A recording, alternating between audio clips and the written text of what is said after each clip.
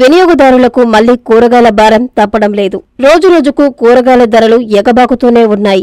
దీంతో ఏడాది పాటు కూరగాయల భారం తప్పడం లేదు. తాజాగా టమోటో వినియోగదారులకు చుక్కలు చూపిస్తోంది. కావలి రైతు బజారులో ఎంత్రీ న్యూస్ వినియోగదారులతో మాట్లాడగా ధరల భారంపై ఆవేదన వ్యక్తం చేశారు. రైతు బజారులోనే కిలో అరవై ఐదు రూపాయలకు అమ్ముతున్నారంటే ఇవి గ్రామాలకు వెళ్ళేసరికి డెబ్బై ఐదు రూపాయలకు అందుతున్నాయంటున్నారు. అదేవిధంగా మిగిలిన అన్ని కూరగాయలు యాభై నుంచి అరవై రూపాయల వరకు అమ్ముతున్నారు. వేసవి కావడంతో కూరగాయల ధరలు పెరుగుతాయని చెబుతున్నా వాస్తవంలో ఈ ఏడాదిగా కూరగాయల ధరలు ఏమాత్రం తగ్గడం లేదు. ఎక్కడికక్కడే కూరగాయలు పండించే రైతులను ప్రోత్సహించాలని పలువురు రైతు సంఘం నాయకులు అంటున్నారు. గతంలో ఉద్యానవన శాఖ ద్వారా రాయితీపై విత్తనాలు మార్కెట్ సదుపాయం రుణాలు అందించేవారన్నారు. ఇప్పుడు ఆ పరిస్థితి పూర్తిగా కనుమరుగైనట్లు చెబుతున్నారు. నూతనంగా వచ్చిన ప్రభుత్వమైన దృష్టి సారించాలని కోరుతున్నారు.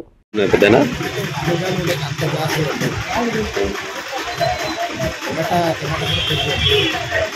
టమాటా రేటు పెరిగిందా? ఎంత పెరిగింది కదా అంత గతంలో ఎంత ఉందో రేటు?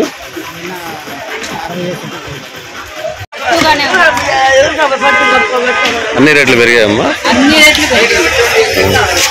ఎలా ఉంది మీకు కొనటానికి ఇబ్బందికరంగా ఉందా? ఇప్పుడు ఎండాకాలం కదన్నా ఎట్లుంటాయి? ఈ రేట్లు ఎక్కువగానే ఉంటాయి కొద్ది వాళ్ళు పడితే కదా తగ్గేది. ప్రస్తుతం ఎలా ఉన్నాయి రేట్లు? అన్నటి మీద కన్నా కొంచెం పర్వాలేదు టమాటా రేట్లు ఎలా ఉందేమో అంటే కొంచెం తక్కువగానే ఉంది ఇప్పుడు టమాటాలు మాత్రం రేట్ ఎక్కువగానే ఉంది అరవై దాకా. అరవై. అసలు ఎలా ఉన్నాయి?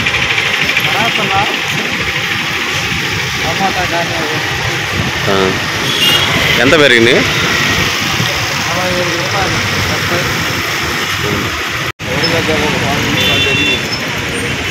టమాటా ధరలు ఎలా ఉన్నాయి? ప్రస్తుతం ఎలా ఉంది రేట్లు